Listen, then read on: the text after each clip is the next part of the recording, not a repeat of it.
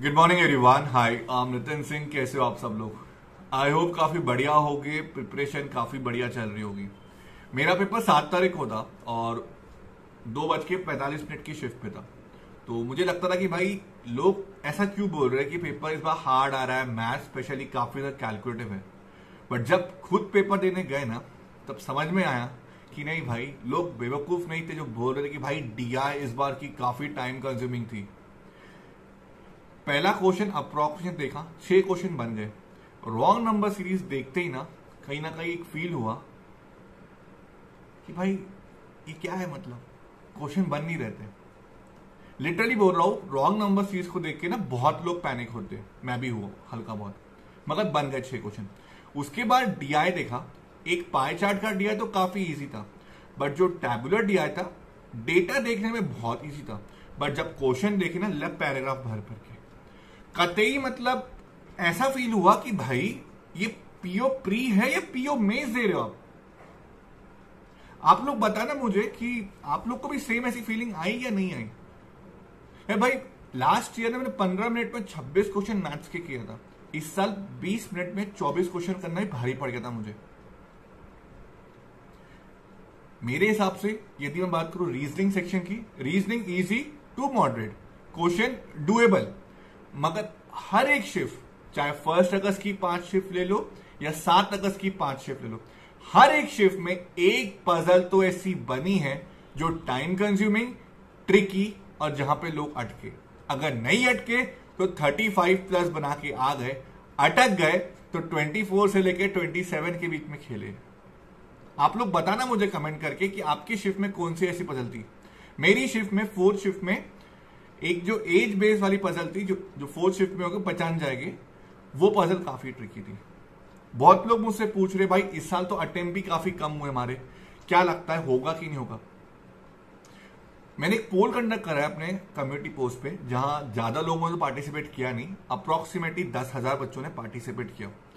वहाँ पे जो डेटा मुझे देखने मिला 88 से लेकर 90 परसेंट बच्चों के जो अटेम्प्ट थे, वो 62 से भी नीचे थे। तो कट ऑफ़ हाई की तो भूल ही जाओ। और रही बात कट ऑफ़ की ना, यदि आप 45 क्वेश्चन भी पूरी अच्छी एक्यूरेसी के साथ करके आए हो ना, आप सेफ़ हो इस बार। उसके अलावा कोई मुझसे पूछे, भाई, मेरे स्टेट का कट ऑफ़ कितना होगा? मेरे स्टेट का? यार, आप लोग भी जानते हो, ये कोई ओवरऑल ऑल इंडिया लेवल पे कट ऑफ़ नहीं होता। ये होता है स्टेट लेवल पे कट ऑफ़ जहाँ पे कितने स्टूडेंट है, कितनी वैकेंसीज है, कौन सी शिफ्ट मॉडरेट आई है, उसका टॉपर कैसा है, क्या है? इतनी बस की बात मेरी नहीं है भाई।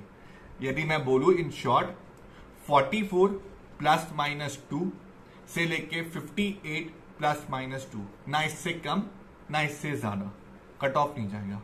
चाहे इसमें आप वेस्ट बंगाल जम्मू कश्मीर उत्तराखंड लो, चाहे इसमें आप कर्नाटका या अपना केरला साइड या साउथ साइड ले लो, या अपना नॉर्थ ईस्ट ले लो, या आप अपना यूपी महाराष्ट्र, गुजरात ले लो, राजस्थान भी ले लो। नहीं जाएगा इससे ऊपर। बहुत लोग मेरी बात से सहमत करेंगे, क्योंकि इस साल का पेपर एक लेंदी था, एक मॉडरेट लेवल पे था। ऐसा नहीं था कि आप आराम से बना ले। हाँ कुछ कुछ शिफ्ट आई थी, जैसे कि फ़र्स्ट डे की फ़र्स्ट शिफ्ट थी। सेकेंड डे की फ़र्स्ट शिफ्ट जहाँ पे 18 क्वेश्चन अप्रोक्सीमेटली आपको देखने मिल गए। छोड़ो, हम अगर रॉन्ग सीरीज़ को भी छोड़ देते तब भी छह मार्क का क्वाड्रेटिक और छह मार्क का आपको अप्रोक्सीमेट मिल चुका था।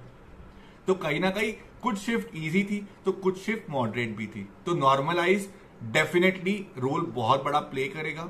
जिस शिफ्ट को हार्ड किया, वैसे भी फ़र्स्ट डे में जो शिफ्ट हार्ड होगी, उसको सबसे ज़्यादा मार्क्स मिलेंगे। सेम सेकेंड डे में जो शिफ्ट सबसे ज़्यादा हार्ड होगी, उसको सबसे ज़्यादा मार्क्स मिलेंगे। तो इसलिए कम अटेम्प्ट हुए इसके चक्कर में मीन्स ना पढ़ो तो आप बेवकूफ़ इंसान हो। और मैं बोलूँगा भाई करंट अफेयर्स पढ़ना स्टार्ट कर दो। लास्ट ईयर आरआरबी पीओ हो या आरआरबी क्लर्क कट ऑफ़ देख लेना एक बार मीन्स का करंट अफेयर्स का। भाई, लेके रखी थी तकल्लुफ से करंट अफेयर्स में तो करंट अफेयर्स अभी से पढ़ना स्टार्ट कर दो। बाकी सोर्स तो पता ही आपको अफेयर्स क्लाउड में हमेशा बोलता हूँ बेस्ट है।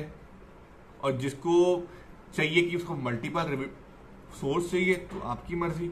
मैं हमेशा बोलता हूँ, एक ही सोर्स पढ़ो, मगर मल्टीपल टाइम रिवीजन करो। बाकी करंट अफेयर्स की जो अफेयर्स क्लाउड की लिंक है, वो दे दूँगा डिस्क्रिप्शन कॉलम में। अभी बहुत बढ़िया डिस्काउंट चल रहा है सेवेंटी परसेंट तक डिस्काउंट चल रहा है, पंद्रह अगस्त के पहले तक। तो देख लो, बाकी लिंक डिस्क्रिप्शन में है।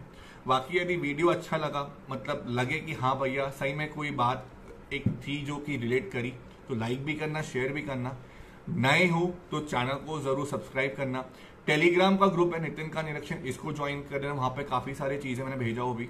आर आरआरबी क्लर्क को रिलेटेड तो आप ज्वाइन कर सकते हो। और यदि मुझसे पर्सनली कनेक्ट करना चाहते हो तो इंस्टाग्राम फॉलो कर देना, Nitin Singh fourteen ninety four बाकी मिलते अगले वीडियो में, तब तक जय श्री राम राम राम।